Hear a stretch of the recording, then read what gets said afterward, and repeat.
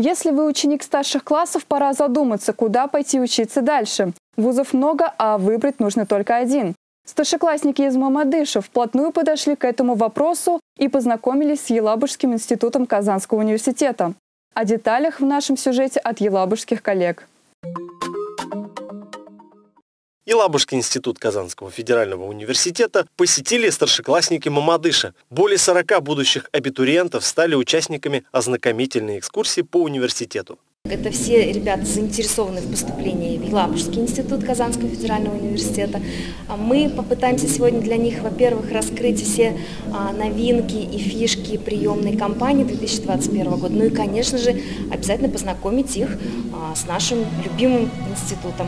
Гости посетили музей книги, научный читальный зал, где увидели раритетные издания и современную работу библиотеки. В студии цифрового образования любой желающий мог почувствовать себя преподавателем, записывающим онлайн-лекцию с использованием интерактивных материалов.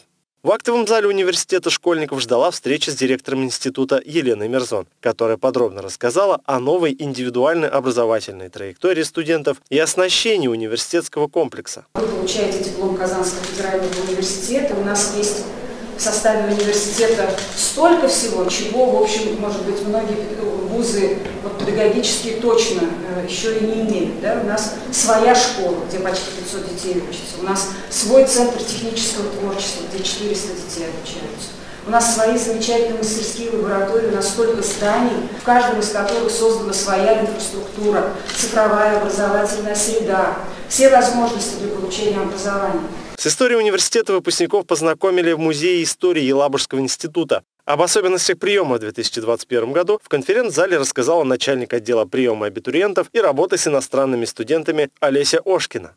Ребята смогли оценить учебный зал суда для будущих юристов и современное оборудование лабораторий. Абитуриенты, желающие присоединиться к экскурсиям, могут обратиться в приемную комиссию вуза. Дина Григорьева, Денис Сипайлов, Радик Загидулин, Univer News.